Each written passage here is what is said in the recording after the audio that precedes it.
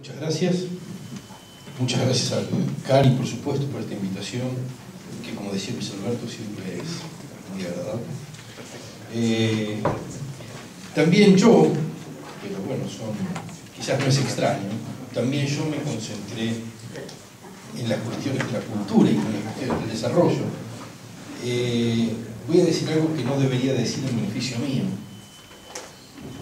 y es desconfío de la idea de desarrollo, pero aclaro que la ignoro por completo, es decir, que mi desconfianza es más bien fruto del prejuicio que de la razón, por eso dije no debería decirlo, pero, pero eh, también desconfío de la palabra cultura, pero me parece que es más inevitable que la palabra desarrollo y que por eso nos, plantea, nos plantea desafíos más interesantes. Eh, cultura, cultura es infinidad de cosas posibles.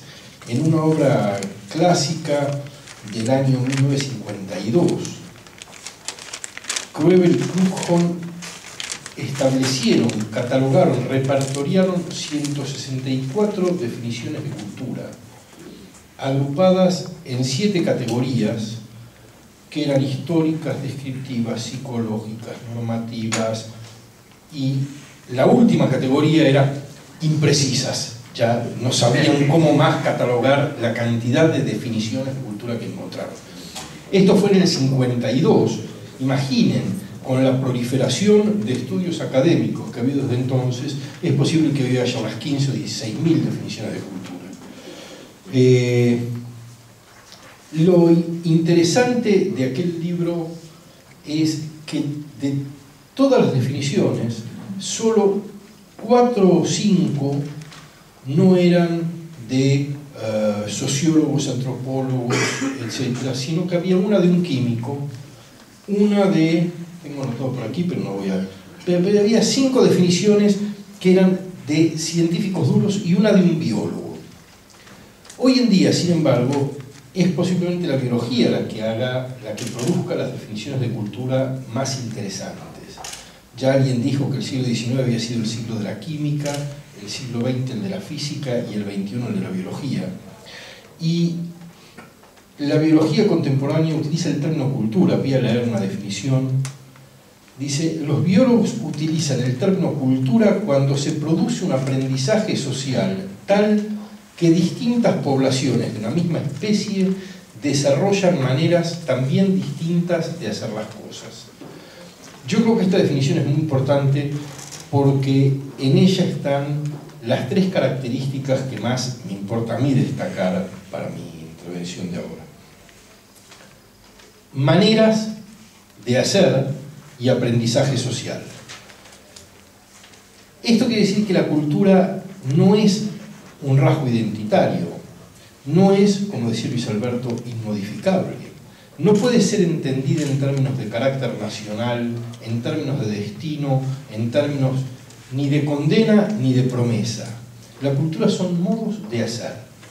La cultura, en este sentido, explica no solo el comportamiento humano, explica el comportamiento de todas las especies animales, y es bueno cuando entendemos que nuestros comportamientos tienen que ver con la naturaleza y tienen que ver con la cultura, que somos parte de algo que, no, debemos ser tan soberbios al pensar que hacemos las cosas con tanta autonomía.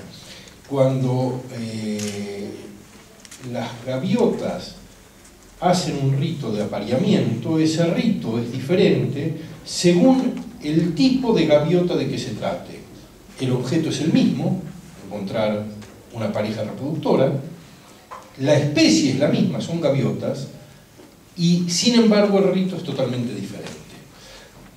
Como es diferente entre grupos humanos, la construcción del el espacio habitación, que tiene los mismos objetivos para todos los grupos humanos, protección de predadores, cuidado y crianza de las crías, apareamiento, eh, reserva de, recursos, de, pero es distinto el iglú o la cabaña tropical. son formas distintas de hacer lo mismo. Entonces, me parece que, que, esto nos, nos, nos pone en un terreno que es productivo en el sentido en el que Luis Alberto decía, podemos hacer algo con esto. Si nuestra cultura es el modo particular en que hacemos cosas, nuestra cultura política, nuestra cultura eh, económica, nuestra cultura respecto de la norma, es el modo en el que nosotros lo hacemos, no es algo inherente a este subgrupo de la especie humana que se llama los argentinos. Yo diría más, los argentinos existimos, en alguna medida, me van a discutir, pero en alguna medida existimos en tanto hacemos muchas cosas de un modo que es propio nuestro. Y no es que como somos argentinos las hacemos así. Invierto la relación. El proceso cultural es muy complejo, no voy a extenderme demasiado porque no hay mucho tiempo y porque es aburrido y porque además soy bastante ignorante, pero, pero eh, del modo de hacer se pasa a la creencia y de la creencia se pasa a la naturalización.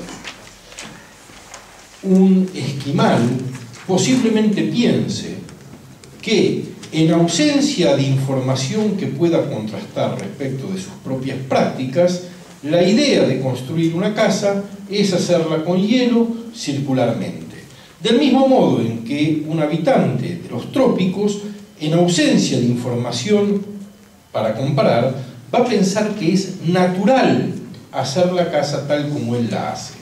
Es decir, convertimos la cultura, nosotros convertimos la cultura, es decir, maneras particulares que son resultado de procesos adaptativos, esas maneras particulares que son resultado las convertimos en naturaleza y creemos que son los únicos modos posibles. Hay, en mi opinión, tres formas en las cuales los grupos humanos pueden poner en crisis sus maneras de hacer las cosas. Y esas tres formas son las artes, la ciencia y la política. Son las tres prácticas reflexivas que permiten a las sociedades mirarse desde afuera y entender que un paisaje de Normandía se puede ver a través de los ojos de un pintor impresionista y vemos algo distinto de lo que veíamos. O vemos una realidad eh, barroca a través de la arquitectura, o cambiamos nuestro modo de ver, vamos agregando formas, imaginaciones, imágenes, sonidos a nuestro modo de percibir a través de las artes. La ciencia desarrolló una metodología para hacer eso. Ha producido un conjunto de técnicas para poner en crisis lo que se supone que son modos naturales en que las cosas ocurren. Pone en crisis la idea de que el Sol gira en torno de la Tierra. Pone en crisis la idea de que la Tierra es plana. Pone en crisis la física newtoniana y la reemplaza por la física relativista. Tiene una serie de tecnologías para poner en duda cada una de las creencias que son resultado de construcciones culturales adaptativas. Pero para las prácticas sociales, la única herramienta reflexiva con la que contamos es la política. Es la política la que permite hay muchas interpretaciones. Algunos dirán que de un modo agónico o agonista, otros, y yo prefiero contarme entre estos, a través de la deliberación, del espacio público, de los intercambios, de las confrontaciones razonadas de argumentos, de la exhibición de intereses contrapuestos, es la política la que permite entender que el monarca no es la única forma de autoridad y que de pronto el pueblo puede sustituirlo.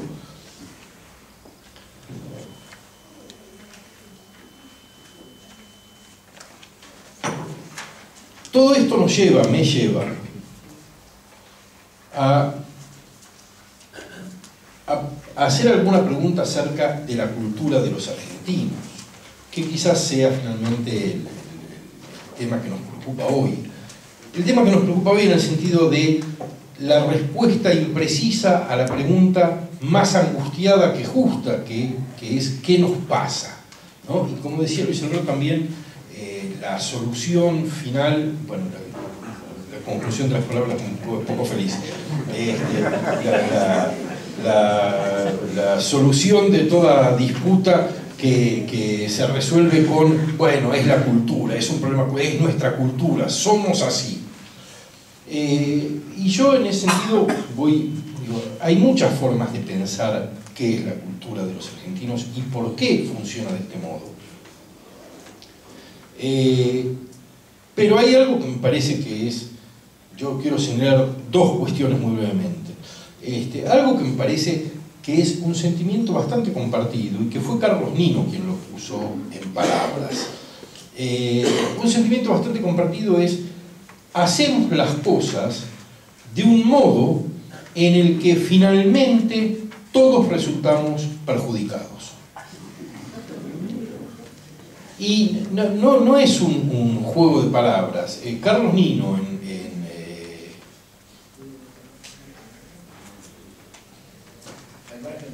un país al margen de la ley, un país al margen de la ley, en un país al margen de la ley, define tres tipos de anomia. Uno, la que él eh, considera que es una desviación individual en beneficio de los propios intereses, que consiste en dejar de observar la ley, y anoten esto, dado el probable comportamiento de los otros. Anótenlo porque me importa para lo que voy a decir después.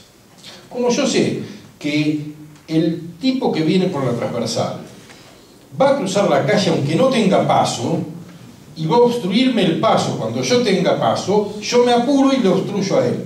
Lo que conseguimos es un terrible embotellamiento galáctico en el que nadie pasa. No, eso no, este es el último ejemplo. Este es el último ejemplo. el segundo es el conflicto social. Cuando un grupo social pone en crisis la legitimidad de quien dicta la norma. Esto provoca revoluciones, revueltas o eh, fenómenos como el de 2001 con la clase media rompiendo las puertas de los bancos porque sentía que le habían expropiado ahorros un modo,